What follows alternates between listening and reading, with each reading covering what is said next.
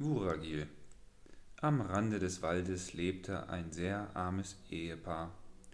Es hatte sieben kleine Kinder. Zu ihrem Lebensunterhalt sammelte der Vater im Wald Holz und verkaufte es im Dorf. Sein Ertrag war weit davon entfernt auszureichen. Den Kindern ging es sehr elend. Ihre Körper waren spindeldürr und ihre Kleider völlig zerrissen. Von Tag zu Tag wurde das Gemüt des Vaters bedrückter, und der Gedanke keimte in ihm, seine Kinder mitten im Wald auszusetzen. Eines Nachts, als die Kinder schon schliefen, beriet er sich mit seiner Frau. Er sagte Mack, von Tag zu Tag finde ich unseren Lebensunterhalt schwerer. Der Erlös aus dem Verkauf des Holzes reicht nicht mehr aus, um unsere Bedürfnisse zu befriedigen. Ich bin der Meinung, es wäre am besten, wir setzen unsere Kinder einfach mitten im Wald aus. Unter Weinen antwortete seine Frau. Nein, Pack, setze unsere Kinder nicht aus. Was soll ihnen geschehen? Im Wald gibt es viele wilde Tiere. Wie die Frau sich auch dem Willen des Mannes widersetzte, er blieb fest bei seinem Entschluss, die Kinder auszusetzen.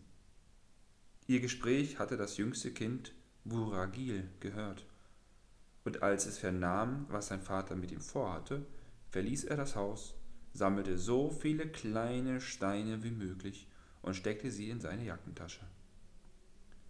Früh am Morgen forderte der Vater die Kinder auf, mit in den Wald zu kommen.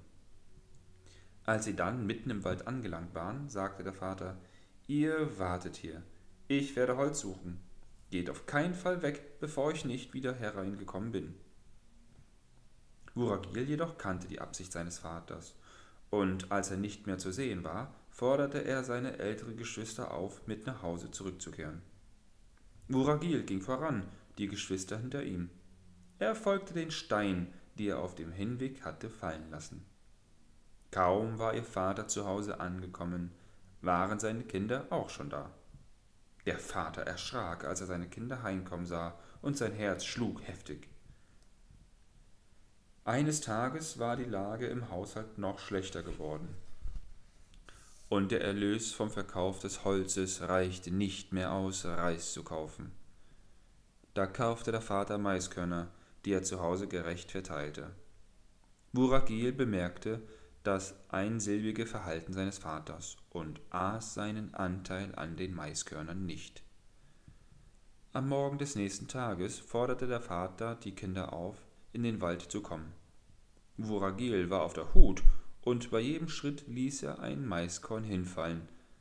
Sein Unglück war jedoch, dass Tauben die hingeworfenen Körner allesamt aufpickten. Mitten im Wald hieß der Vater sie warten. Er werde, wie er sagte, Holz suchen. Nachdem er sich entfernt hatte, forderte Wuragil seine älteren Geschwister auf, mit nach Hause zurückzukehren. Aber sie verloren ihren Weg, weil die Tauben die hingeworfenen Maiskörner aufgepickt hatten. So marschierten sie ohne Richtung und ohne Ziel. Als sie die Hälfte des Tages gewandert waren, sahen sie in der Ferne Rauch aufsteigen. Sie suchten, woher der Rauch kam, und es zeigte sich, dass er von einem Haus stammte. Die Kinder freuten sich von Herzen, auf Menschen zu stoßen. Sie klopften an die Tür, und eine alte Frau empfing sie. Sie war sehr freundlich und gab ihnen Essen und Trinken. Wer war die Alte? Eine Dämonin. Und dieses Haus war das eines Dämons und seiner Frau, der Dämonen. Der Dämon selbst war gerade weg auf der Suche nach Beute. Er besaß als Besonderheit ein paar Zauberschuhe, mit denen er sehr schnell gehen konnte. Auch hatte er sieben Kinder, die mit Wuragil und seinen älteren Geschwistern etwa gleich alt und gleich groß waren. Am Abend erst kam der Dämon nach Hause. Sein Jagdertrag war sehr groß. Als er das Haus betrat, roch er die Menschen und fragte seine Frau Alte, ich rieche Menschen. Hast du Menschen da? Seine Frau antwortete Du hast recht, vorhin sind sieben Kinder hierher gekommen. Sie schlafen bereits in der Kammer mit unseren Kindern. Ich will sie, Alte, sagte da der Dämon. Gut, aber warte auf die Nacht, bis sie wahrscheinlich tief schlafen, und merke dir, die mit Tigerfellen zugedeckten sind unsere Kinder, aber die, die mit Lammfellen zugedeckt sind, die kannst du essen. Mach aber keinen Fehler. Wuragil hatte ihre Unterhaltung gehört, und als es ruhig wurde, stand er auf, nahm die Decken der Dämonenkinder und bedeckte seine Geschwister damit. Auch er nahm eine Decke von den Decken. Den Dämonenkindern gab er die Lammfelldecken. Mitten in der Nacht kam der Dämon in ihr Zimmer und betastete die schlafenden Kinder. Als er die mit dem Lammfell zugedeckten Kinder ertastete, aß er sie eins nach dem anderen, bis alle sieben gegessen waren. Danach ging er wieder schlafen, und weil er satt war, schlief er tief. Am Morgen, als die Dämmerung kam, stand Wuragil auf und weckte seine älteren Geschwister. Verstohlen suchte sie die Zauberschuhe, die dem Dämon gehörten. Als sie sie entdeckt hatten, nahm Wuragil sie an und zog sie an. Dann fasste er seine Geschwister an der Hand und sie wurden davongetragen. Sie gingen so schnell, als würden sie fliegen. Der Dämon war von flüsternden Stimmen geweckt worden und ging in das Zimmer seiner Kinder. Doch was sah er? Es waren nur noch Knochen übrig. Da fühlte er sich betrogen, denn er hatte seine eigenen Kinder gegessen. Er ging wieder in sein Zimmer, um die Zauberschuhe zu holen und die sieben geflohenen Kinder zu verfolgen. Wie erschrak er, denn seine Schuhe waren nicht da. Voll Zorn knirschte er mit den Zähnen, aber er konnte nun überhaupt nichts machen. Wuragir lief immerzu mit seinen Geschwistern an der Hand. Schließlich kamen sie in ein Land, in dem gerade ein Wettbewerb stattfand. Wer so schnell liefe, dass kein Mensch ihn einholen konnte, sollte der Schwiegersohn des Herrschers werden und später an seine Stelle treten. Wuragil beteiligte sich an dem Wettbewerb und er war bereit, als Einsatz seinen Kopf abschlagen zu lassen, wenn er besiegt werden sollte.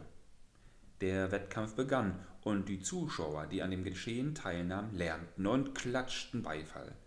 Dank seiner Zauberschuhe war Wuragil nicht zu besiegen und man bestimmte ihn als Sieger. Dann wurde er der Schwiegersohn des Raja, und weil der schon alt war, erhob man ihn bald auch zum Herrscher. Nachdem Wuragil Herrscher geworden war, machte er seine älteren Geschwister zu hohen Würdenträgern. Ihr Leben war angenehm geworden. Eines Tages gedachte Raja Wuragil seinen Eltern am Rande des Waldes. Er befahl den Würdenträgern, seinen Vater und seine Mutter herzuholen. Die Eltern erschraken sehr, weil der Herrscher sie rief, und mit bebenden Körper brachen sie, von den Würdenträgern begleitet, zu dem Palast auf. Dort angekommen, traten sie mit vielen Verneigungen und Kniefällen vor den Herrscher. Der fragte sie, Babak und Emak, ich möchte euch fragen, ob ihr Kinder besitzt. Die alten Leute ängstigten sich noch mehr, denn sie fühlten sich schuldig, ihre Kinder ausgesetzt zu haben, und kniefällig sagten sie, Das ist richtig, Herr, wir haben sieben Kinder. Aber weil wir sie nicht ernähren konnten, haben wir sie mitten im Wald ausgesetzt. Ob sie noch leben oder tot sind, wissen wir nicht. Würdet ihr eure Kinder noch erkennen, wenn ihr ihnen begegnet? Den Wuragil würden wir genau erkennen, Herr. Auf seinem Kopf ist ein Mal, weil seine Mutter mit einem Rotanrohr dorthin geschlagen hat. Bitte, seht einmal auf mein Haupt. Nach vielen Kniefällen untersuchten die alten Leute das Haupt des Herrschers. Es zeigte sich, dass sich auf seinem Kopf ein Mal befand, das dem Wuragils glich. Dennoch fürchteten sich die alten Leute anzuerkennen, dass der Herrscher ihr Kind war. Doch schließlich weinten und umarmten sie sich vor Freude. Von diesem Tag an wohnten die alten Leute im Palast, und ihr Leben wurde angenehm und sicher.